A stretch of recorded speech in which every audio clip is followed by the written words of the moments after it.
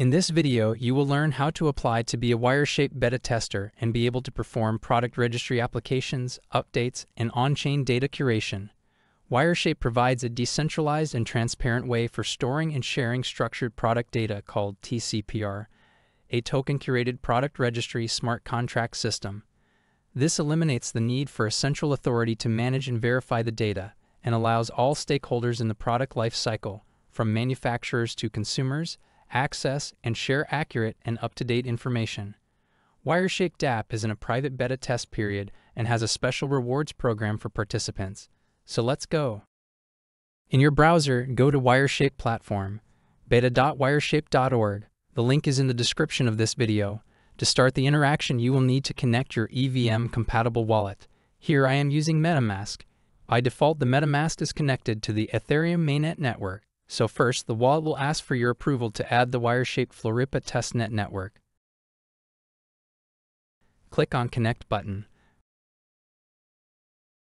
The signature will be requested, so click on Sign. Your wallet is now connected to the Wireshape DApp. Now click on Curate button. A form will appear to fill in your data for the application to be a tester. Fill in your email, Twitter profile, and Discord username. Now submit your application. Your application to be a beta tester has been sent. Click Close. Your wallet will be disconnected, and as this is a closed beta, interactions will not be available yet.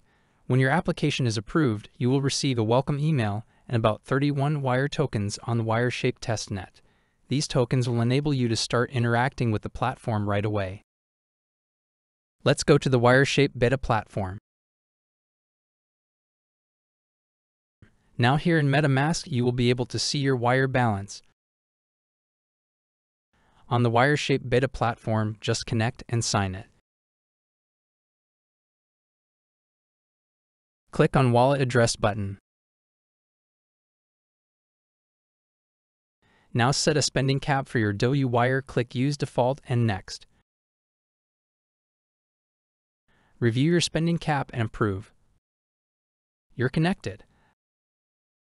The entire curation system is on-chain, so you will need wire tokens for the gas fee, and W-Wire to carry out the product registry application and curatorship.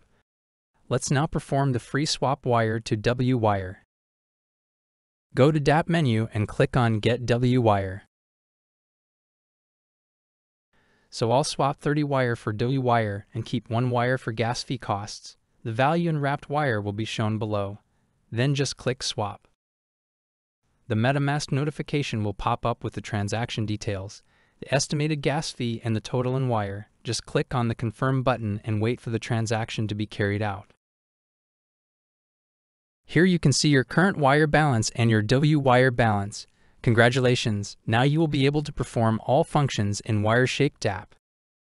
If you have any questions or need assistance, feel free to join our communities where our members will be happy to assist you. See you in the next video and thanks for watching.